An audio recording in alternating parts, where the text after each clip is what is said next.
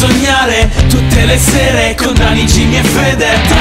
Matter Ascolto e chiudo, rido che c'è black humor. Non ti rilassare, non c'è niente per nessuno. Simboli del cattivo gusto, sentenze un po' su tutto. Sicuro tornerai Sul po'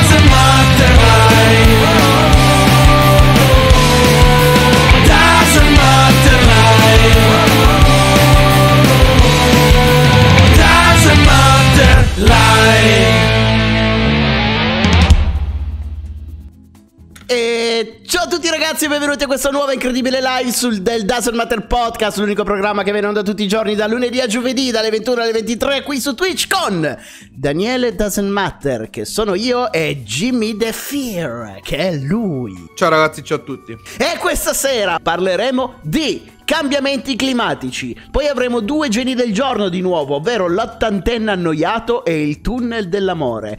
Parleremo della storia dell'animale incredibile per la prima volta in questo 2021. Torna con Luis, il cane malato. E infine avremo l'angolo Eccomi, della morte. 3-3. Bene, funziona il robot. tu non l'hai sentito, Jimmy? No, che hai fatto? Una voce che ha detto eccomi 3-3.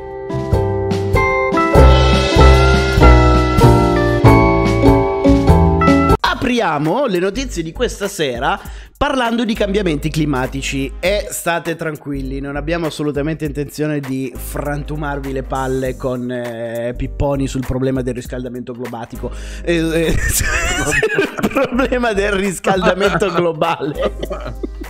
Il riscaldamento globatico is the new italiano. Mi sa che sono io il ritardato che legge quello che succede in live. Comunque, Eh, da ieri, hai perso la mano a leggere la live. eh sì, ci vuole almeno una settimana di rodaggio prima di ripartire. Comunque, ci concentreremo su. Non, non- non- non vi tireremo i pipponi sul cambiamento climatico, ma ci concentreremo su un, even- un- un evento molto raro accaduto ieri. Ci troviamo in Arabia Saudita e precisamente in uno dei luoghi più caldi del pianeta, ovvero il deserto del Sahara. E, o, o ancora meglio, dovrebbe essere uno dei posti più caldi sul pianeta, ma ieri è accaduta una cosa rarissima e che ha destato subito preoccupazioni riguardo al surriscaldamento globale, ovvero, sai cosa è successo ieri nel deserto del, Sa- del Sahara, Jimmy? No.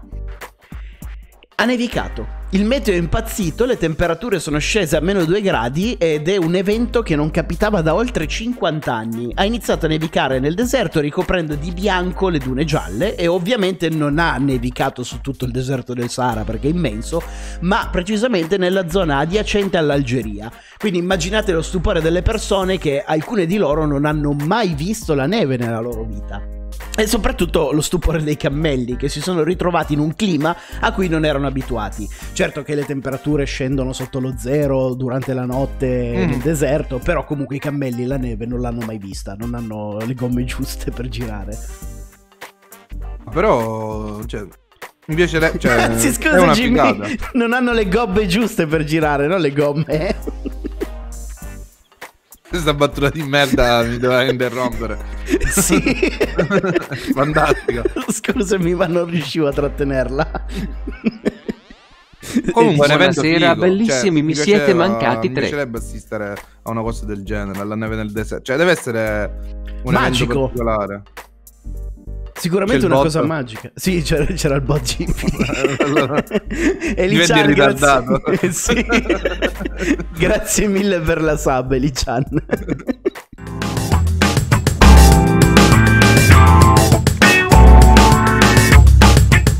Da questa foto, caro Jimmy, è stato ritrovato il Salvator Mundi dipinto di scuola leonardesca che vale un sacco di soldi ed era stato trafugato dalla Basilica di San Domenico Maggiore. Il quadro è stato ritrovato questa mattina a Napoli nell'appartamento di un 36enne, di un 36enne che ora è stato sottoposto a fermo con l'accusa di ricettazione. Bello sto quadro. Vabbè, lo voglio. Da Napoli passiamo a Milano e diamo brutte notizie per i fumatori. Non so se hai sentito questa notizia, la fresca fresca. È Sì, terribile. Non si può fumare più nei parchi e nelle fermate degli autobus. E non solo, infatti da oggi, 19 gennaio, eh, sono entrate in vigore le misure previste dal regolamento sulla qualità dell'aria. Quindi, come dicevi tu, non si potrà più formare all'aperto nel raggio di 10 metri da altre persone in generale.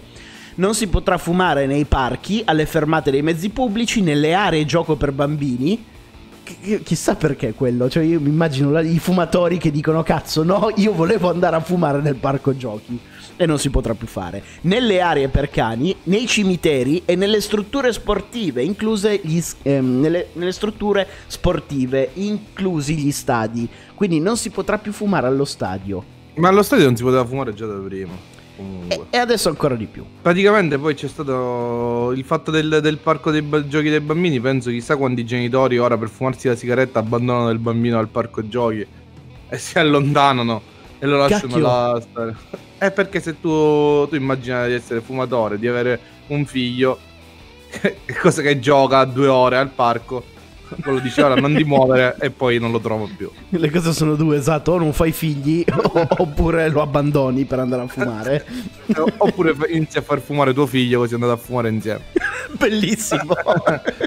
Sette anni lui, 40 tu. E Comunque con questa questo... storia la trova giu- tu la trovi giusta, voglio poi un tuo parere sul- sulle sigarette eh, sulle Milano. Eh, allora, ni, nel senso, trovo, giu- eh, trovo sbagliato che non si possa fumare all'aperto, trovo giusto che non si debba fumare a meno di 10 metri di una- da una persona.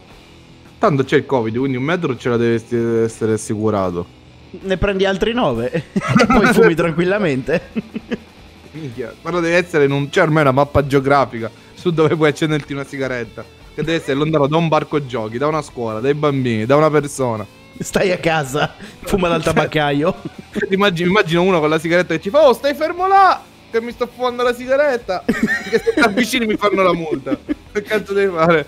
Che- sai che anzi, cioè la gente più stressata fumerà di più. Esattamente Oppure immagina di fumare mentre cammini C'è uno dietro inizia a correre Oh dietro mi sta raggiungendo, mi sta raggiungendo. E tu non devo riesci a finire. correre perché sei un fumatore. Minchia come chi cazzo che cammina col metro No perché a me queste leggi sono quelle che mi fanno Incazzare dal punto di vista che mi chiedo Chi ti fa la multa? Cioè, cosa cammini con un metro? Cioè, la discussione del, del tizio è lei a meno di un metro di distanza con la sigaretta da una persona. Allora, Ma che no, fa? Tu, tu io stai credo- fermo là, io sto fermo qua, mettiamo il metro a terra. Eh, No. sono 9,58, signora. No, vabbè, ma non è una cosa che la gente. Cioè, passa la pattuglia di, di carabinieri, ti vede che sei a 8 metri anziché 10 e stai fumando e ti fa la multa. Secondo me, più che altro, eh, se ti accendi la sigaretta mentre sei alla fermata del bus, c'è uno che si lamenta e chiama i carabinieri. In quel Tu, avanti, avanti che arrivano, ho finito il pacchetto. No, no, infatti, quello sì. È più che altro se c'è la pattuglia vicino e li chiami e dici: Ehi, sbirri, questo sta fumando a- davanti a mia figlia. E gli fanno la multa. È più per regolarizzare questa cosa, diciamo. Madonna mia, chissà che cagacazzi quello che lo chiama. Passiamo al genere del giorno, va.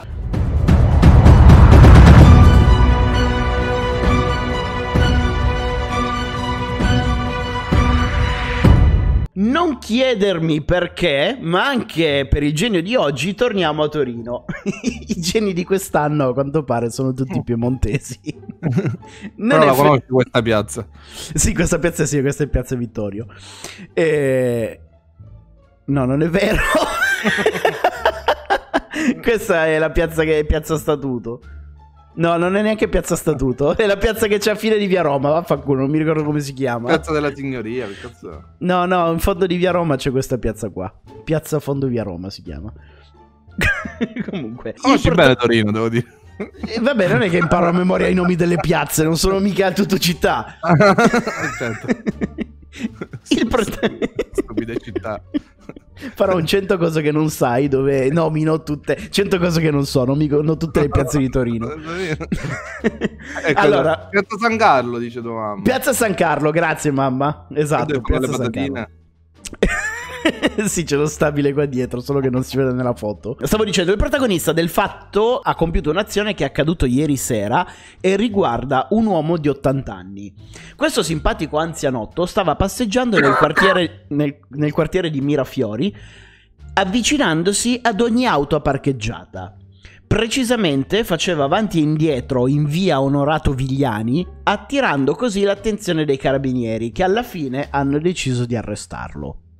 E tu dirai Jimmy, perché arrestare un tenero ottantenne che passeggiava e guardava le macchine?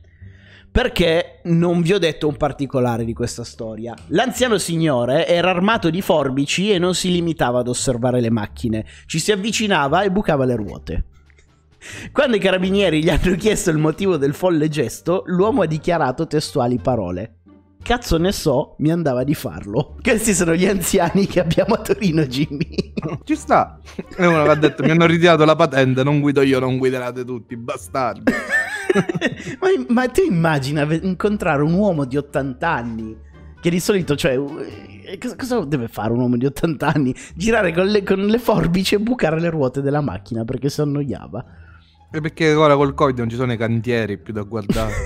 esatto, quindi guarda l'ANAS che va a ritirare le macchine da del lavoro. Esattamente, chissà quanti meccanici hanno goduto di questa cosa. I gommisti erano in fila. Era un'associazione da delinquere. Vabbè, il nipote è gommista. Non lo so, secondo me a una certa età poi inizia a diventare. Perdi colpi col cervello, hai questa mania di tagliare, di fare, di dire.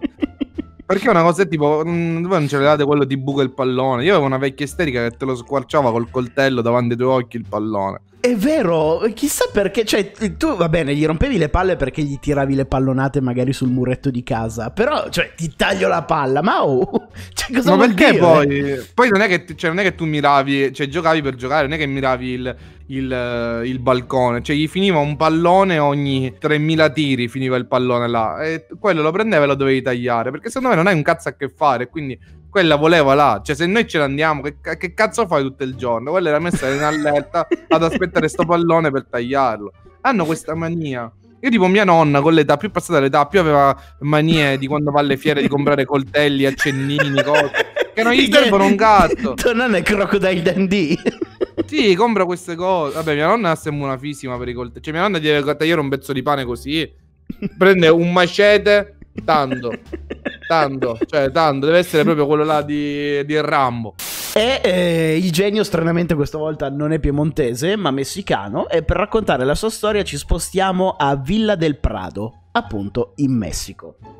Antonio, il protagonista della nostra storia, è un muratore di Villa del Prado che sta portando avanti una relazione molto pericolosa, ovvero va a letto con una donna sposata. E ieri, perché questa notizia è freschissima, mentre era a letto con la sua amante Pamela, Pamela decide di ricaricare le batterie prima di un secondo incontro d'amore. Quindi per ricaricare le batterie... Classico nome d'amante.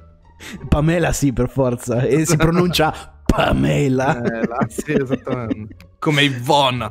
Ivo o Natasha. o Natasha.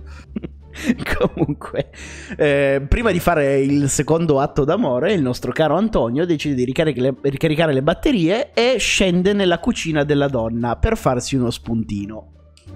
Mentre Antonio è in cucina, completamente nudo, entra in casa George, il marito di Pamela. Dopo due secondi di cioè, immagina George che entra e vede un uomo nudo che sta spadellando nella Eh, sua questa- cucina. Ha questa faccia. No, questa è una foto. non ti dico che cosa mi è uscito oggi su Google Immagini quando ho scritto Mexican Cook. non lo voglio sapere. Però puoi immaginare. Comunque, Antonio era completamente nudo che spadellava nella cucina di George. Dopo due secondi di imbarazzo, Antonio capisce che è in pericolo di vita e comincia a correre via, rifugiandosi nella camera di, Pane- di Pamela. George, che lo stava inseguendo per dargli una mano di botte, entra anche lui in camera e Antonio è sparito nel nulla. Giorgio su tutte le furie, la moglie non dice niente e l'uomo per trovare l'amante della donna comincia a ribaltare tutti i mobili di casa. Dove sei bastardo? Se ti trovo ti uccido. Ma di Antonio nessuna traccia. A quel punto gli- eh, a George rimane un solo punto dove guardare, ovvero sotto il letto dove c'è sopra Pamela. Così sposta il matrimoniale e l'uomo fa una scoperta incredibile. Sotto al letto c'è un tunnel sotterraneo. George entra nel tunnel, sembra la trama di un film Jimmy, ma è tutto vero. George entra nel tunnel, lo percorre tutto fino a scoprire che l'altro capo del percorso va a finire in un'altra abitazione, ovvero la casa di Antonio. A quel punto entra e trova Antonio seduto nel soggiorno che stava mangiando. Che cazzo vuoi tu?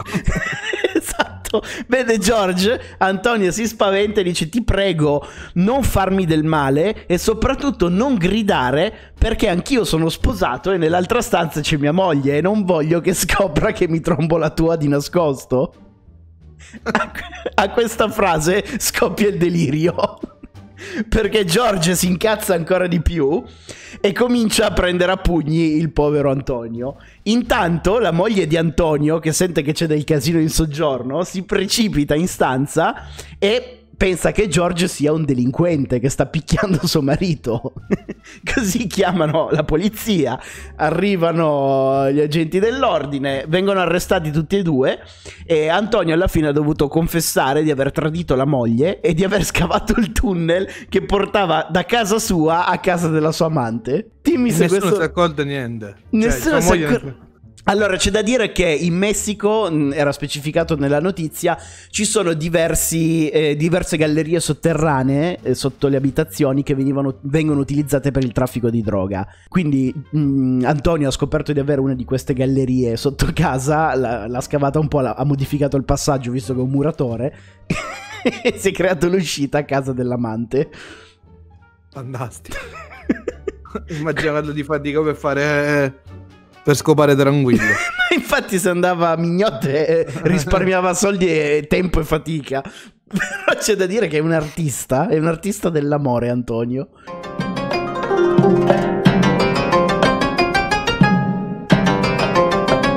Allora, torna anche nel 2021 la storia dell'animale incredibile e l'animale protagonista di oggi è Luis Jimmy. Queste sono le storie che piacciono a te. Uno che carino. Non so come si pronunci, Shepherd. Shepherd? Ok, uno Sì. Shepherd Lab di tre anni che vive a San Diego. Vi dico già che non sarà una storia bella, ma comunque c'è un lieto fine. Luis purtroppo è un cane malato e la famiglia che se ne occupava non si è mai presa cura di lui, finché la malattia di questo cane lo ha reso completamente cieco e con un'operazione chirurgica gli hanno dovuto togliere i bulbi oculari. A quel punto, queste persone di merda, che non volevano un cane non vedente, hanno deciso di abbandonarlo. Ma non siate tristi, come vi dicevo, è una storia fin di bene. Infatti Luis ha trovato immediatamente un'altra famiglia, Steve Walkers, un veterano dei Marines che ha accolto il cane a braccia aperte e ora vivono insieme, tutti belli, felici e contenti. Ma secondo te Jimmy, può finire così questa storia? No, ti prego, mi sto sentendo male già così. Ovviamente No. no. Dovete sapere che Steve, il padrone del cane, soffre di una rara malattia agli occhi e sta per diventare cieco pure lui. Ma come detto, Luis ha finalmente trovato l'amore. E come sappiamo, l'amore è cieco. Vabbè, basta. È finita. Sì. Però questa punchline finale mi ha ammazzato mentre la scrivevo. Mi sono sentito il dio delle sceneggiature. L'amore è cieco, punto. che, che battutona. Madonna. Hai spaccato il tasto della tastiera quando hai scritto punto. Il punto esatto è caduto per terra. Impression- No, è vero, adesso vabbè, si ride e si scherza, però fa veramente... scalda il cuore vederlo così, senza occhi, con lo sguardo chiuso, povero cane. Ma non ci, non ci rattristiamo, Jimmy, perché il podcast deve andare avanti e deve continuare a far ridere. Infatti ora passiamo all'angolo della morte. Sigla! Cazzo ridi?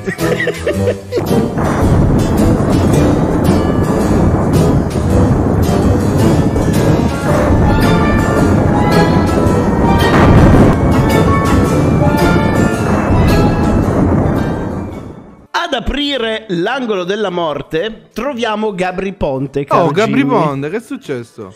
Il DJ no, è vivo, sta bene. Cioè, non sta bene, ma è vivo. Il DJ sta per affrontare un delicato intervento al cuore e lui stesso ha avvertito i suoi fan sui suoi social. Domani mattina, quindi il 20 gennaio, domani mattina andrà sotto i ferri e noi ovviamente facciamo un grande in bocca al lupo a una delle persone che ha fatto parte delle- della colonna sonora della nostra infanzia. Assolutamente. Inutili invece eh, sono i nostri in bocca al lupo per Emanuele Macaluso perché è morto. Quindi Beh, già no. in questa foto non lo vedo bene. Aveva 96 anni ed è stato uno storico dirigente del PCI. Sai cos'è il. PCI, Gi- Jimmy? Il PC, Sì, il Partito Comunista Italiano. mi hai convinto. Io non lo so, però quando ci sono tre lettere abbreviate è sempre qualcosa di politico. Vabbè. Va bene così. A lasciarci è anche Harry Brent, morto per un'overdose accidenta- accidentale di farmaci prescritti. Aveva solo 24 anni ed era il figlio della top model Stephanie Seymour. Non abbiamo parole da spendere perché non lo conosciamo, immagino, vero Jimmy?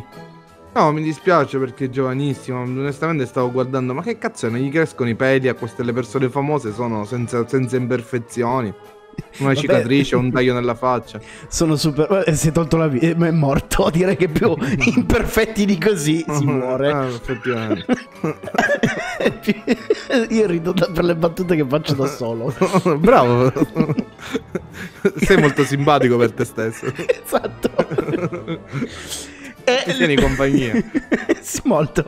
La lista si conclude invece con eh, Jean-Pierre Bacri, mor- Jean-Pierre Bacri immagino, morto a Parigi a 69 anni, era un noto attore di teatro e cinema ed è morto per un cancro.